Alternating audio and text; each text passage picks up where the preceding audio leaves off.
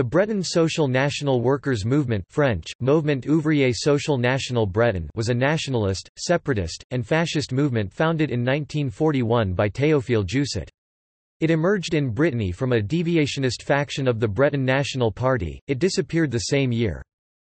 Its 25-point program was based on the principle of a «popular Breton state made for the people and by the people»,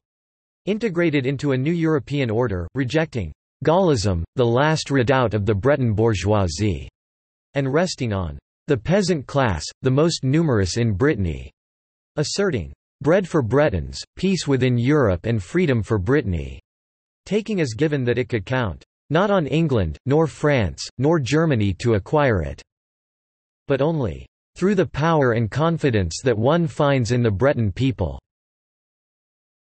Having adopted for a flag a standard designed by Olier Mordrel several years before closely resembling a Nazi flag—black ermine at the center of a white circle on a red field representing the blood of the worker.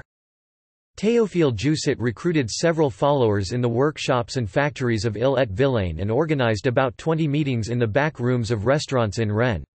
Its founder renounced the dialectic, and embarked on direct action with a small group of communist separatists who had joined his cause.